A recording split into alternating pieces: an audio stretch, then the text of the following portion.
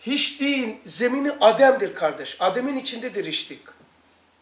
Peki diyeceksin ki Adem varlıksız varlık. O da bir varlıktır ama varlık değil yani. Bizim bildiğimiz ilmi bir vücut değil. Yani şöyle elime bakar mısın? Mahiyeti zatiye, onun çıkışı, çıktı, şuunat-ı zatiye. Şuunat-ı zatiyeden ne çıkıyor? Sıfatı zatiye. Sıfat-ı zatiye ve ondan sonra bir de sıfat-ı subutiye var. Sıfat-ı subutiye. Sıfa, sıfat-ı subutiye, ilim, irade, sen, basar vesaire. Sıfat-ı zatiyede kıdem, beka, muhalefetun, havadis, kıd- beka, vahdaniyet bir de tekvin var. Bu tekvinin içerisinde, dikkat bunu niye gösteriyorum? Sıfat-ı zatiyede, sıfat-ı subutiyede değil adem. Bunu bile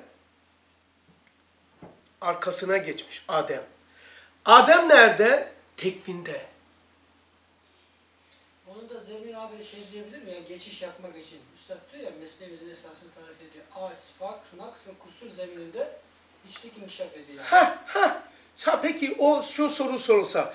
Abi hiçliğini bilmekte yöntem nedir? Kural nedir? Allah razı olsun. Böyle soru sorun ya. Veya katkı sağlayın.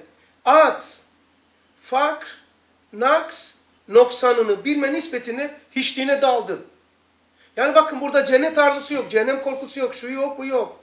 Atsinin, fakrının, noksan, kusurunu bilmek. Yani mesela şeyi kusurun üzerine alır diyor.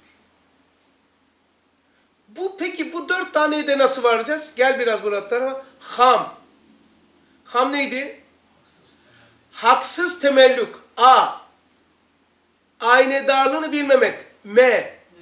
Mevhumu muhakkak bilmekten Gelen vücut rengini almış bir. Adem'dir. Bak oraya götürüyor. Böyle olursa Adem'den uzaklaşırız.